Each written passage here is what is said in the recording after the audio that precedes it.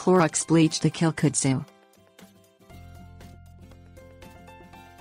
Kudzu vines typically grow in parts of the southern United States, most notably the southeastern region of the country.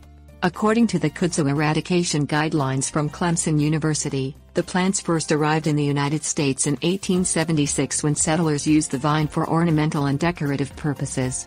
Herbicides and mowing are effective means of killing kudzu, but Clorox bleach may also work. Clorox bleach usage Pour Clorox into a plastic spray bottle and use the full-strength bleach as a weed killer. Spray the bleach on the tops of the kudzu vines and along the base of the vines. The bleach works by slowly suffocating the vines and preventing the kudzu from absorbing the needed water and nutrients from the surrounding soil. The bleach naturally dissolves after a few days. Check the kudzu and look for any signs of regrowth. Spray the vines with more bleach and repeat the spraying process every few days. Keep in mind that depending on the amount of kudzu growth, Bleach alone may not be effective in killing the vine. Removing kudzu vines. Before applying any type of bleach mixture, cut back or burn the vines. Clemson's kudzu eradication guidelines recommend burning the patches of kudzu during the spring season when the vines first start growing.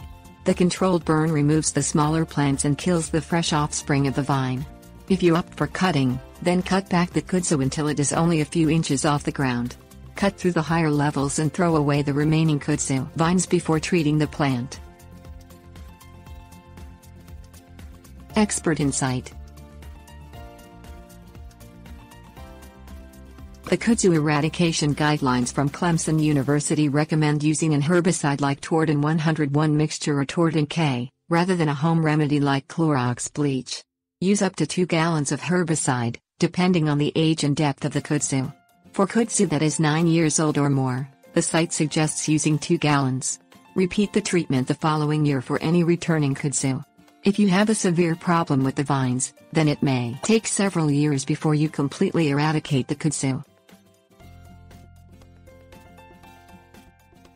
Warning Avoid spraying Clorox bleach, herbicide or any type of chemical around areas with a high level of vegetation, including crops, flowers and trees. The chemicals seep into the plants and may eradicate those plants. Do not use Clorox on kudzu growing near ponds, lakes or streams. The bleach can seep from the kudzu and contaminate the water supply.